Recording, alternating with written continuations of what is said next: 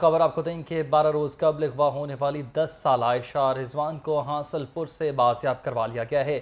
جدید ٹیکنالوجی کی مدد سے واقع میں ملوث مرکزی ملزم کو گرفتار کر کے بچی کو والدین کے حوالے کر دیا گیا۔ آپ کو اپڈیٹ کر رہے ہیں اس خبر کے حوالے سے بچی کو والدین کے حوالے کر دیا گیا۔ بارہ روز قبل اغوا ہونے والی دس سالہ عائشہ رضوان کو حاصل پور سے بازیاب کروا لیا گیا۔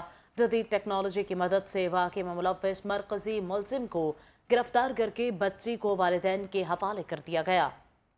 مزید تفصیلات جان لیتے ہیں۔ نمائندہ لاہور رنگ ملک ظہیر احمد سے۔ جی ظہیر اپڈیٹ کیجیے گا۔ گانا کے ایریا سوا آصل سے دس سالہ بچی آشا بی بی کو بارہ روز قبل پہلے اغوا کر لیا گیا تھا۔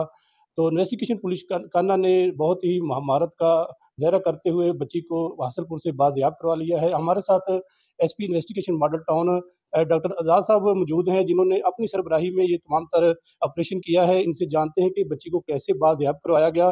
اور کون کون سی مشکلات کا سامنا تھا؟ کیونکہ حاصل پور جو ہے وہ ایک کرمنل علاقہ کہا جاتا ہے، وہاں سے بچی کو بازیاب کروایا گیا ہے۔ سب انسپیکٹر اجاز صاحب اپنی ٹیم کے ہمراہ تین دن مسلسل حاصل پور میں رہے اور تب جا کر بچی کو بازیاب کرایا گیا۔ ایس پی صاحب ہمارے ساتھ موجود ہیں، جانتے ہیں کہ یہ سارا واقعہ کیسے پیش آیا۔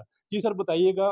جی چار جون کو ایف آئی آر ہوئی تھی، تھری سکسٹی تھری اغوا کی چھوٹے جو مائنر بچے ہوتے ہیں جیسے کہ آپ کو معلوم ہے میڈم سی ایم صاحبہ کی ٹاپ پریورٹی ہے کہ بچوں اور خواتین کے خلاف جو افینسز ہیں، اس پہ زیرو ٹالرنس ہے۔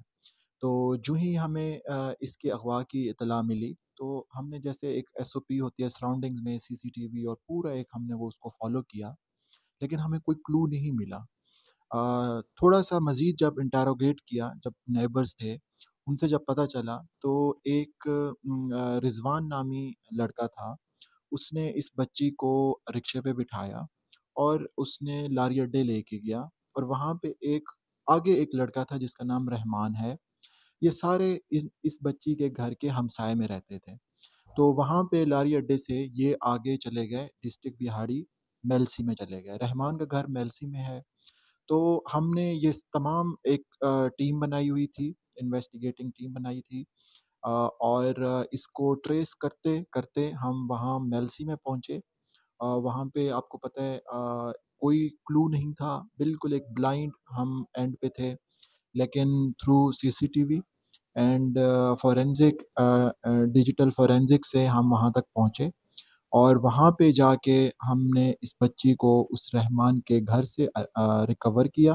اچھا سر یہ بتائیے گا کہ یہ پتہ چلا کہ پورا گروہ ہے اس سے قبل بھی ان کے ایسی کافی ایکٹیویٹی ہے جو کہ بچوں کو اگوا جاتے ہیں لاہور سے اپنے گاؤں لے جاتے ہیں۔ کیا انویسٹیگیشن میں کچھ یہ چیزیں سامنے آئی ہیں کہ ان کے ساتھ کتنے ملزم تھے اور ان فیوچر جو انویسٹیگیشن کنٹینیو رہے گی تو دوسرے ملزم بھی جو گرفتار ہو جائیں گے؟ رضوان کے والد کو ہم نے اریسٹ کر لیا ہے اور تفتیش مزید جاری ہے۔